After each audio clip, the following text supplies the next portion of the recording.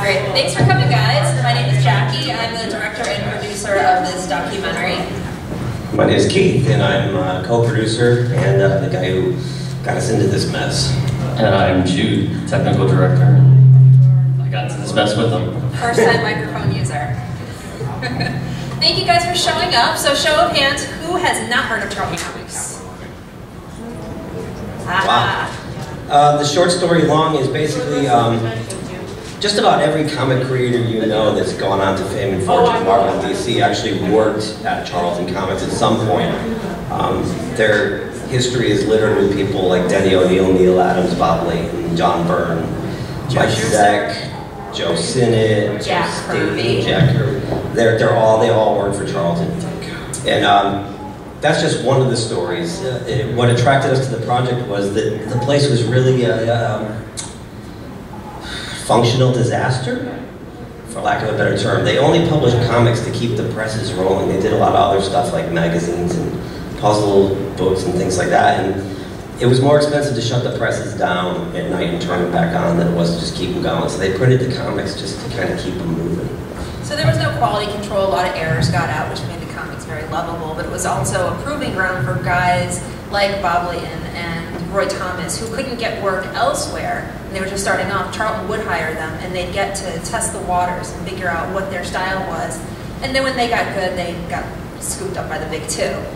Um, but it was, It was also a place where, you know, we interviewed Joe Sinnott early on in the production, and he told us it was there for him when he needed some extra money. So he would do his Marvel and DC stuff or, or Dell stuff during the day, and then bang out some romance comics at night because they were. So there was a lot of heart to this company and, and a lot of hijinks. The documentary itself is going to be it's going to be hysterical. We don't want it to be a talking head, boring, 90 minute, you know, snooze fest. We want to tell the real story to Charlton. All the hijinks, all the bullshit, all the rumors, because there are so many rumors. Um, and then the, just talk about the great legends that passed through there and that nobody knows about it. There's no recognition for this company. No one has bothered to tell this story before, so we're going to do it. And don't feel bad. I mean, really, if you don't know anything about it, we didn't either. Uh, three years ago, almost three years ago now, we stumbled into a panel only because our feet were tired, and I saw on the display Bob Layton, Denny O'Neil, Frank McLaughlin, Jose Garcia Lopez were going to be in this panel. I didn't read what it was about, and when we got in there and they said we're going to talk about Charlton Comics, I was like, oh. What, what the hell is that? Like, and I remember after I looked at the logo, I was like, remember those. They were really crud. And I, we were going to walk out, but then they started telling these stories, and it got so compelling. It took till the next day for me to realize, oh, geez, that's a movie. So we called her up. We went back, cold pitched Denny, Bob Layton, and Paul Kupperberg on the spot. They were all bored, and off we went. Yeah, so here we are now, and uh, yeah, Should we run the trailer? yeah, I think let's let's start off with the trailer. Our first trailer we launched um, in the summer of 20. What year are we in? 2017. 2015. Uh, When we started, we started shooting in about May of 2015, and we had no money. So we, using Jude, our friend Jude here, um, and a bunch of gear that we've can cobble together, and the three of us struck out to get five or six of these big name people that lived in the Northeast, Denny, the Joe Staton, Joe Sinnott, those kind of guys, Neal, put them into the trailer in an effort to try to show that there's some players involved here, and we try to seek some funding. So we launched that trailer at the Terrificon show, and then um, we made a new one for New York Comic Con this year, and we took a different tone. The first one had a lot of the funny stories with it and moved along. This one we tried to like create a false sense of drama. So this is our We are sinners, we have corrupted the youth.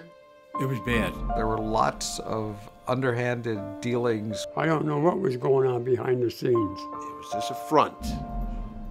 Whatever. There's a lot of history there. And some of it has to do with people who go to jail and people who don't. He didn't go to jail because he combed his hair funny. It makes me sick. I don't even want to talk about it either. I'm always like, there's, some, there's something wrong with this. What is this? Who am I dealing with here? Maybe you wanted it when it was done. Okay. It should have been mobsters instead of doing what they're doing in comics. They were amusing bastards. What you heard is true. you're gonna get shot. That's so charming. It was just a place that they made comic books. It wasn't intended to be a literary house of fine work or anything like that. It's a who's who of comics that's forgotten. They were a special kind of special, is what they were. I couldn't quite tell what they were doing. It was a great place to not be taken seriously. It was the comics of last resort. If it printed and it sold, it, it was it was a winner. If anybody looked at it beyond checking the spelling, I'd be surprised. What the hell's wrong with you? Don't you know that? Well, didn't anybody proofread it? So I go from being one of the greatest comic book writers going to being edited by a hack. And uh, that's how bad we were. Charlton Press printed those dirty, nasty books. Stuff that should never have been sold to kids. Ooh. Ooh. I'm doing it for the kids. I mean, really, you know, I think that's the right thing to do. There was no secret about it. And certainly, if you ever saw the product, well, maybe this wasn't as like golden as I thought it was. We want to publish comic books in the worst way, and they did.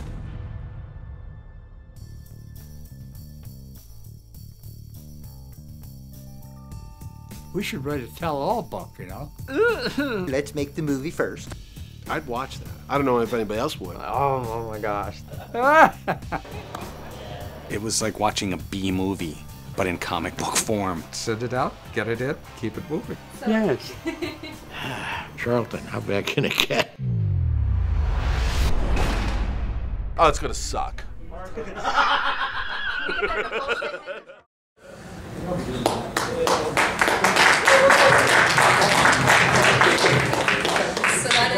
second trailer that we cut. Um, does anybody have any questions so far? Because we do have some footage from John Byrne, the interview. I got a question. Do you want the lights still off or do you want me to? Yeah, leave them off because we're going to show John Byrne footage in a minute. Okay.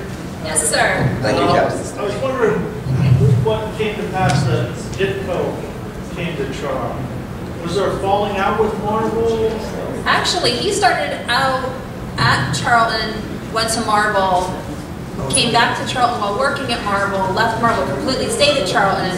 So it was it, it was always like a mosh, a, uh, like a mesh of the two companies. But he was never strictly with one or the other. He was kind of always with both.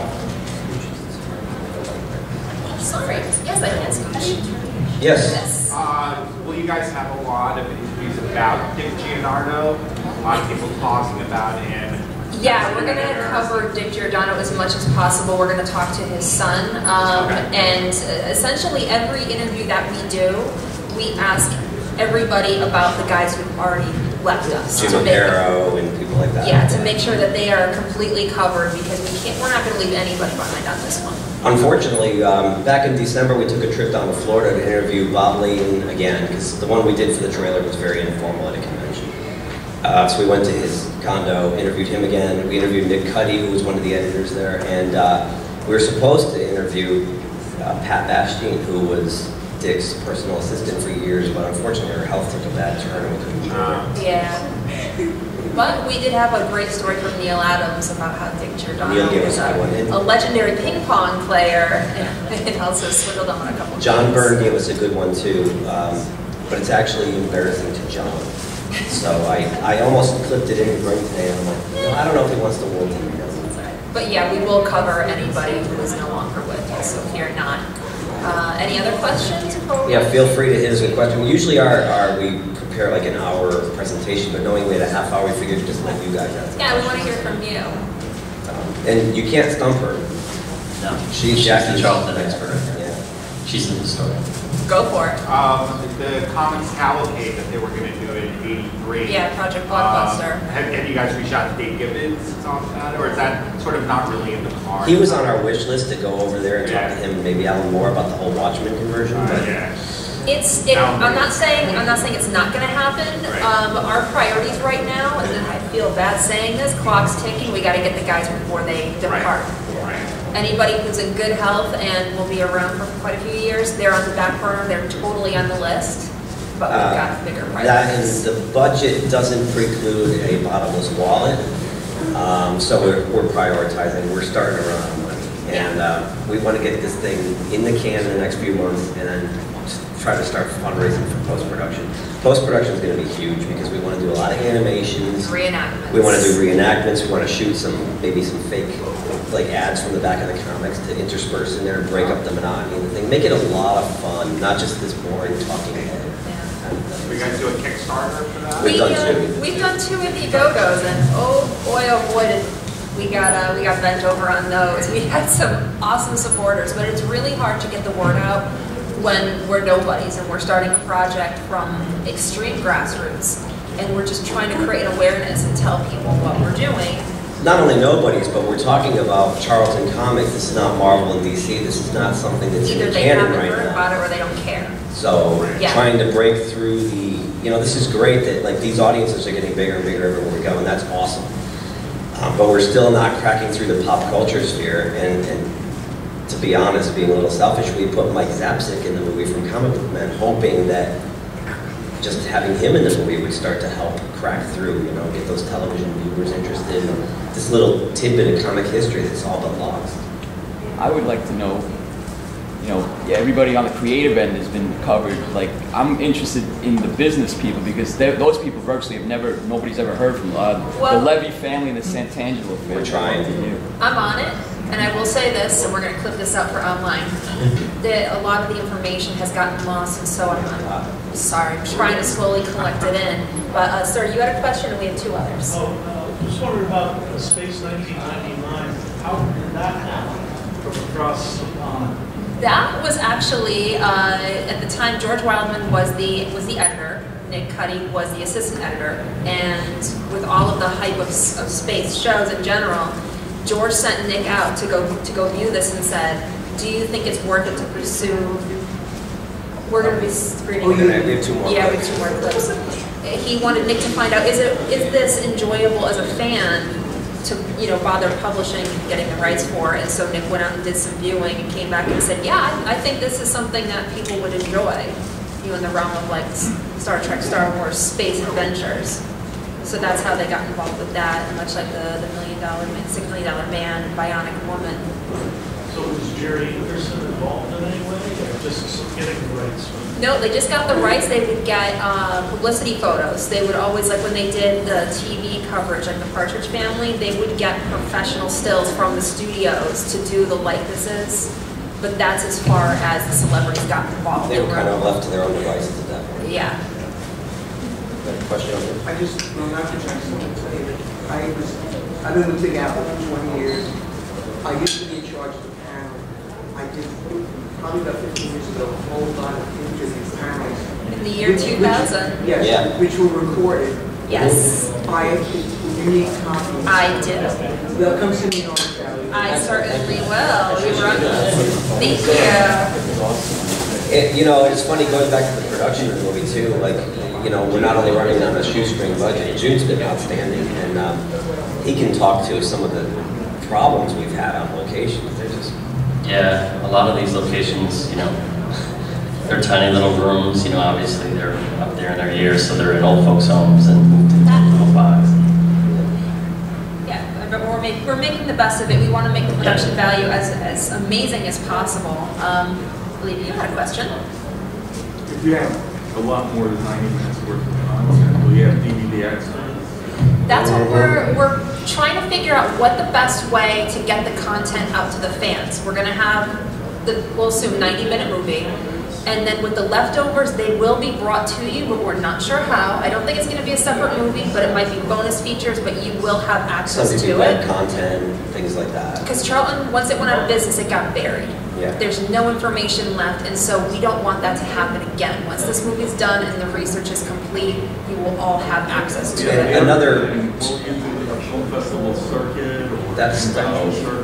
That's what the hope is. Um, I work in the film industry as a, as a makeup artist, and I've gone to film festivals, and I'm not sure if this is appropriate for festivals, but we will make sure this goes on some kind of tour, hopefully theatrical. even if it's uh, self-distribution, distribution tour. But we want to get this out to you guys. This, this movie isn't about us. It's about the fans, the people who love Charlton from the get-go, the new fans, and then most importantly, the creators of the company who didn't get the recognition for their grassroots, where they got their start. Part of the impetus for my idea was I had gotten back from the Charlton panel and I was going through the literature I collected, and one of the things that I opened up was the Hero Initiative brochure that Denny O'Neil handed me. And I was thinking about the panel and how funny it was and everything, and I'm looking at that. And if you don't know, the Hero Initiative is designed to help these creators in their elder years who don't have a lot of money, that have they sold off these properties because they're work for hires, they don't have any rights to it, and they need help with their medical bills. And I'm looking at it thinking, I, I could get 50 bucks or something, but I'd rather do more than that. And as I'm washing dishes and thinking about the panel, that's when it dawned on me. We make a movie and then we donate a whole bunch of money to the Hero Initiative. So that's really what's driving this production. We want to give back to the community.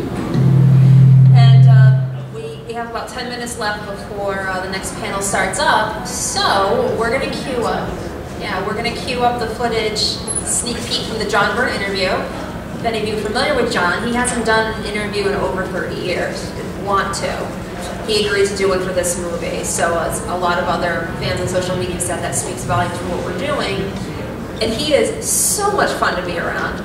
Um, Yeah, I, you know, selfishly, I, I just would like to say that, um, y- you know, we get to know these guys personally now, and one of my good friends as a result of this production is Paul Kupperberg. He's really a great guy, and he called me up a few days after Christmas and said, uh, "Oh, I have a belated Christmas present for you." And I said, "Oh, Paul, you shouldn't have." And he goes, "Let me finish." He's like, "I went to breakfast with John Byrne," and I said, "No." And he goes, "Let me finish."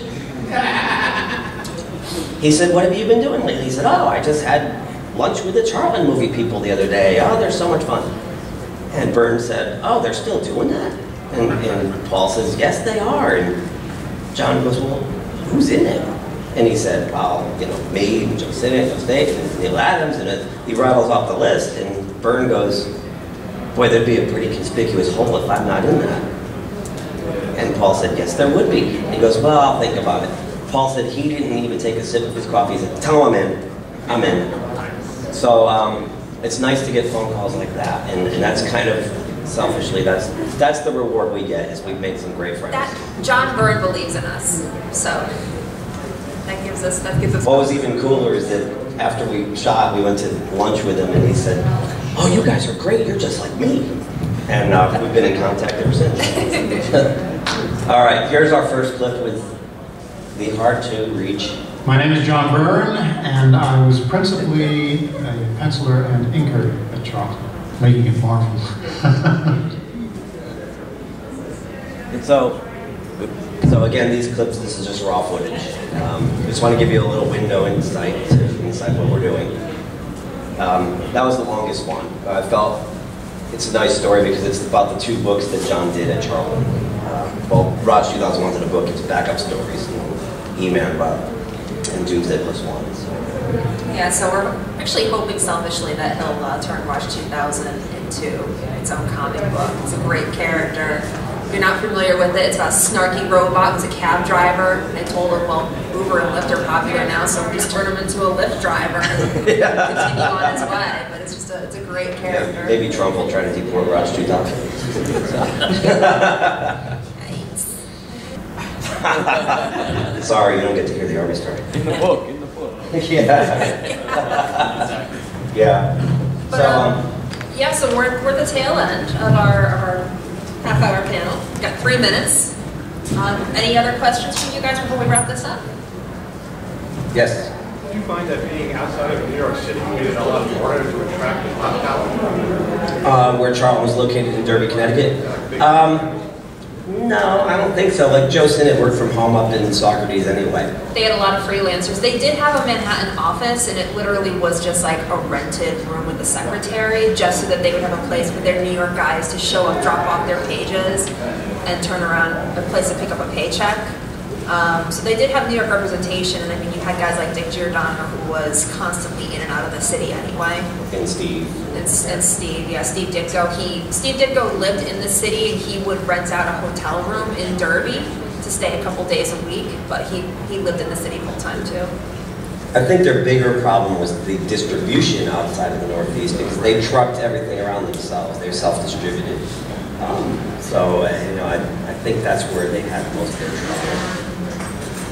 I gotta be very honest with you. I, uh, when I when I read the history of Charlton Comics, I thought if these guys had really worked it, they could have been a real competitor against Marvel. You have no idea. But they had a lot of potential they didn't have never developed. There's a tragedy that goes along with this, as funny as it is. And they were out of business by the early 80s. Yeah, 1986 is when the comics division officially folded. Uh, the music side of it folded in 1992, but it was always about the music magazines, Hit Parade or Country Music Roundup. Oh. They didn't Yeah. care about the comics. They had no idea what they had and what they could have done with it. No, I know. But then again, back in the 70s, who knew comic books would become what it has become today? So it's hindsight's 2020. The, the, the potential was obviously there. At least I was a teenager back then, and I Yeah. could see the potential. Yeah.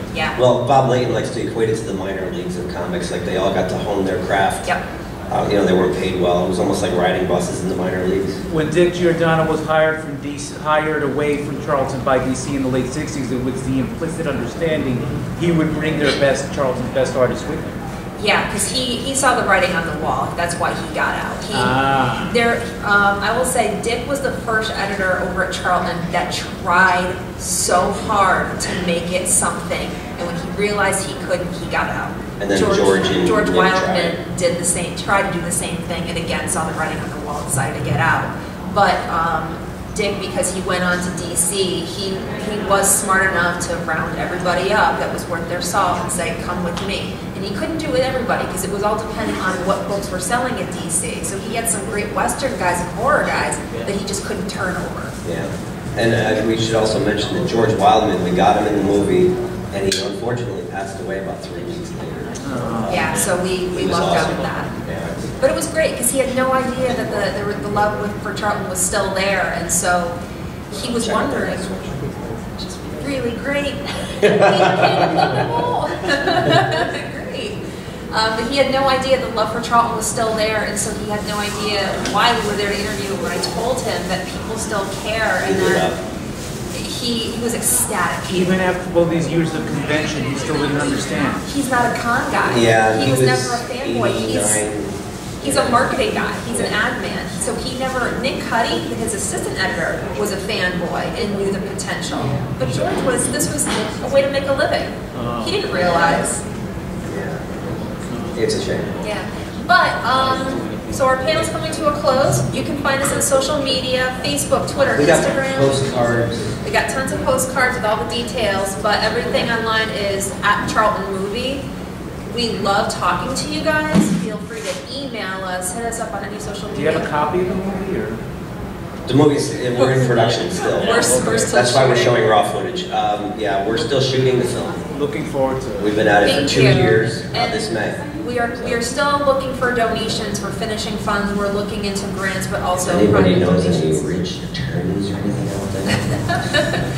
And then, really um, very, very soon I'll be updating the website with additional prizes when you donate. Because when we did the Indiegogo, we, we gave out prizes for donations, and right now we don't have that, but we will update it. Worse, the first time we gave too much away, like we, a lot of the money that came in, went right back out in shipping and boxes. Yeah. And they're like, we, we, we promised too much for, uh, Why We're learning. Why was Charlton so Charlton so bad at uh, at having at you know seeing the market and judging it and everything like that? It was an afterthought. The Yeah, comics division was completely. really an afterthought. Not just the afterthought, not just the comics division, but other things, but other things also. It seems. Um, I think technology passed them by. Uh, there- that, that was part of it, um, and again, clip this up, before we put it online.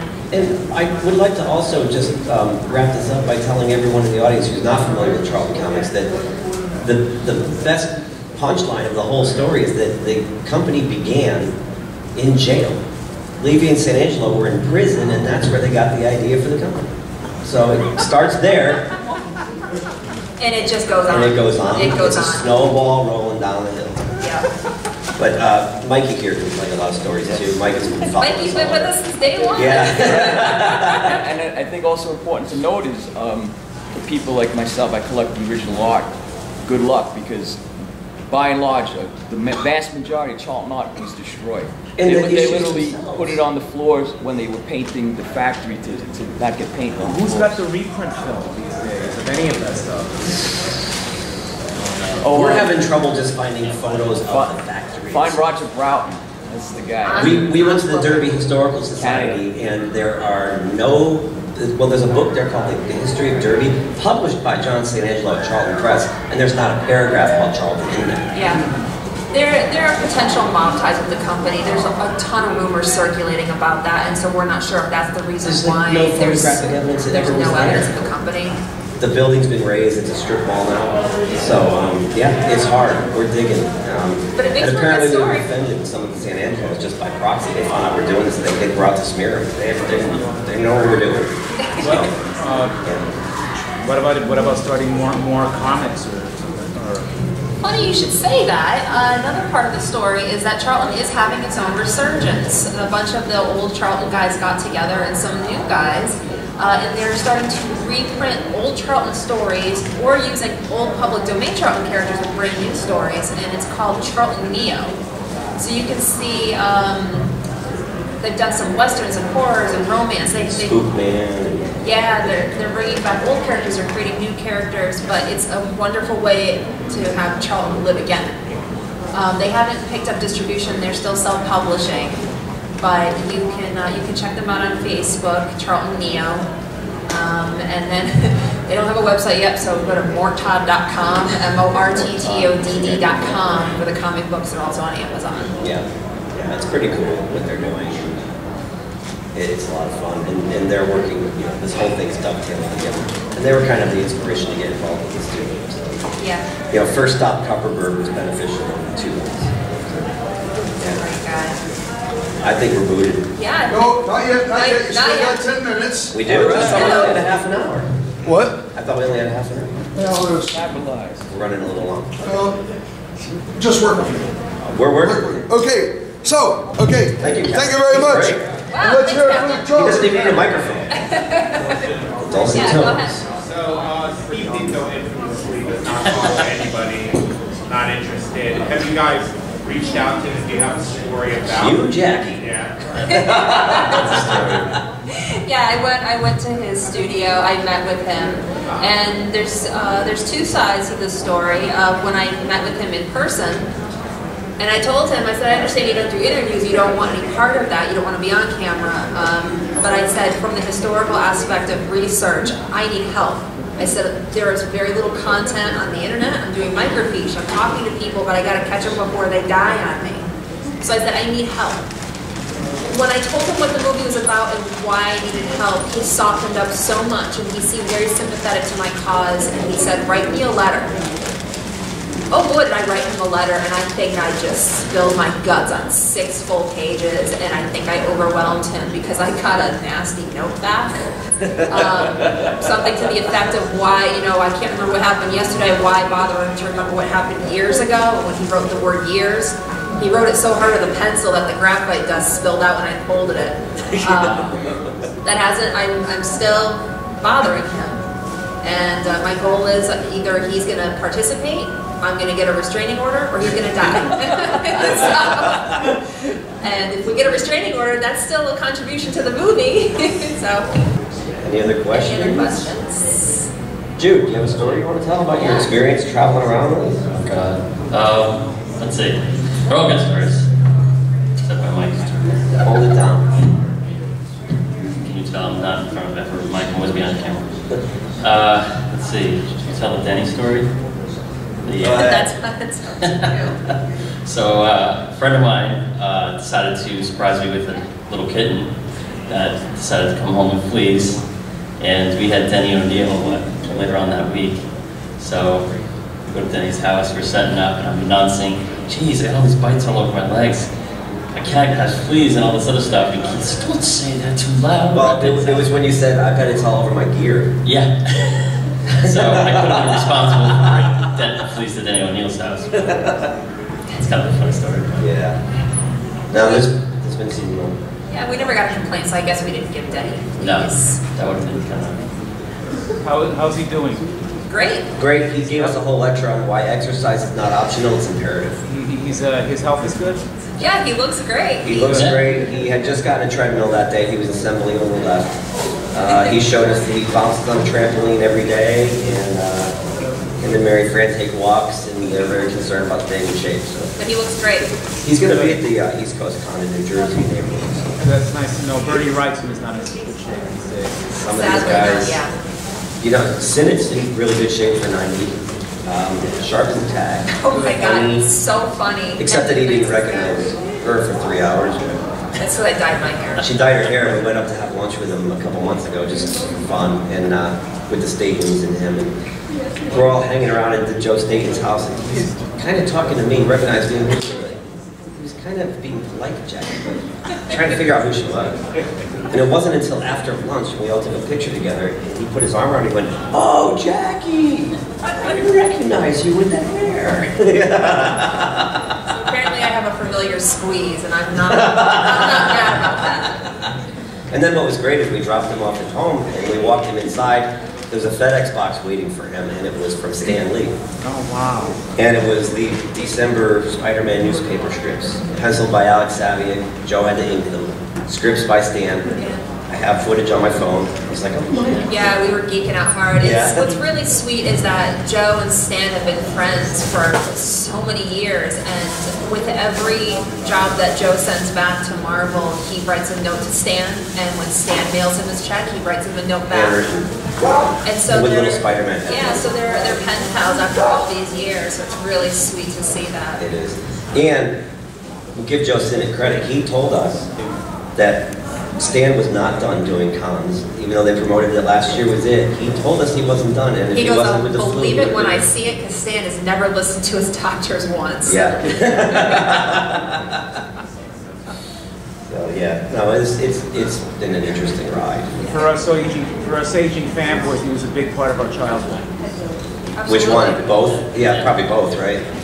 Uh, yeah, yeah, both, yeah. Yeah. It's just cool now that you know we'll walk through a con and Neal Adams will see us and go, "Hey guys, hey, how's it going?" It's kind of cool, you Yeah, know. no, it- it's great, it's great. Yeah, I wouldn't have, a couple years ago. Never would have that. believed Yeah. you'd be doing this. They, they, uh, they've been holding conventions in this hotel since the seventies. Yeah. Yeah. It's and- fabulous. You know, we asked Bob Layton if he was interested in doing a small con in Connecticut, and he wrote back and said, "Oh, it's not really worth it for me, but well, thank you. Can we still be friends?" You know, that's how he ended the email, and that's like, that's kind of funny. I didn't know the guy two years ago. so. Any more questions? We gotta- Sorry, we didn't realize We gotta wait for gonna Captain. We're here until he comes back, so. we would have brought more stuff. I know. Usually they're chasing us out of the room.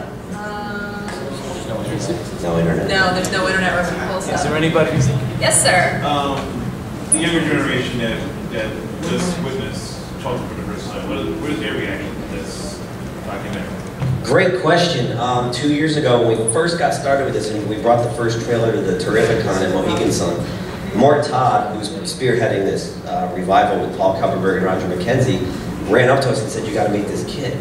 He's 15 and he's got a Charlton collection that you wouldn't believe. He's in the trailer. He's in the movie. We ended up going to his house and interviewing him." Um, there's not many kids that are into Charlton, but we're hoping that when they see a kid like Gary, uh, that they might take interest in it.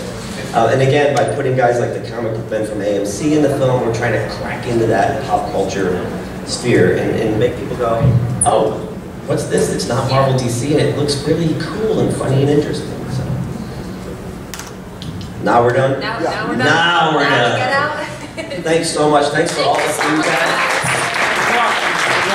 We're at charltonmovie.com, postcards here, and uh, hope to see you at the con soon.